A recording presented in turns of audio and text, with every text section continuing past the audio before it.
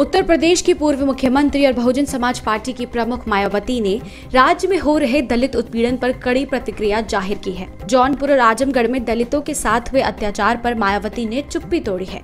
उन्होंने कहा कि दोषी चाहे किसी भी धर्म और जाति का क्यों ना हो, उनके खिलाफ कड़ी कानूनी कार्रवाई हो।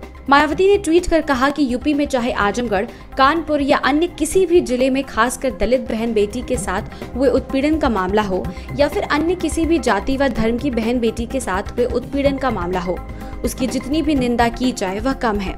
साथ ही कहा कि खासकर अभी हाल ही में आजमगढ़ में दलित बेटी के साथ हुए उत्पीड़न के मामले में कार्रवाई को लेकर यूपी के मुख्यमंत्री देर आए पर दुरुस्त आए। यह अच्छी बात है।